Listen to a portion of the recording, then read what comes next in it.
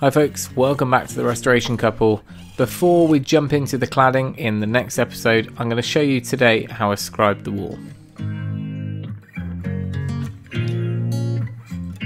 So before we could make a start on the cladding, I needed to install a trim piece against our old stone wall. So there's a few ways to do this, but the easiest thing to do to start with is to cut a bit of an angle on the side you're going to be using to butt up against the wall. That means you're going to be taking less material away and it's a lot easier to work with.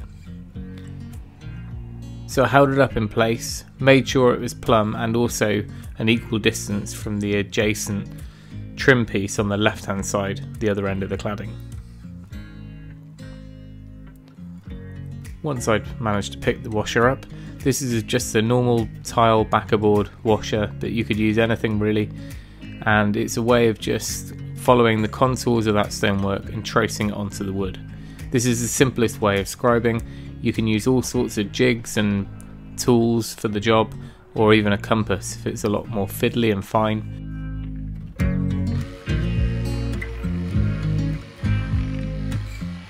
Then I just used a, an upturned jigsaw.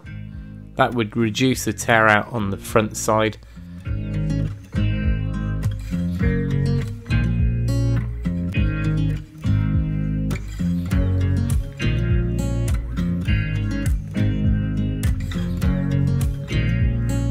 So this is the first fit. And I'm not looking for an absolutely snug fit because this is external. I don't mind a little gap.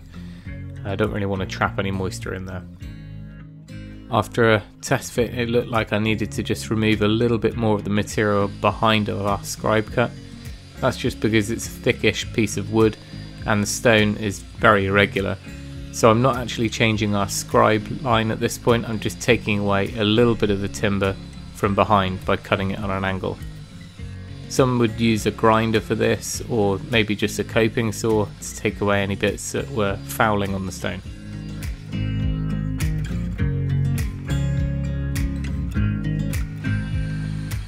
I then drilled and plugged some holes just so we'd be able to sand them smooth once everything was in place.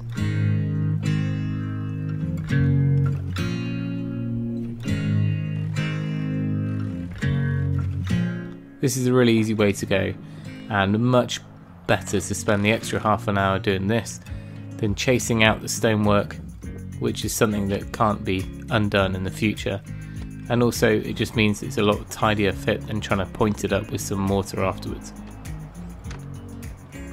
And then nailed in our last vertical batten ready to install the cladding. Now the cladding video will be out on Saturday so stay tuned for that. Make sure you subscribed. But remember, if you can, do it yourself. We'll see you next time.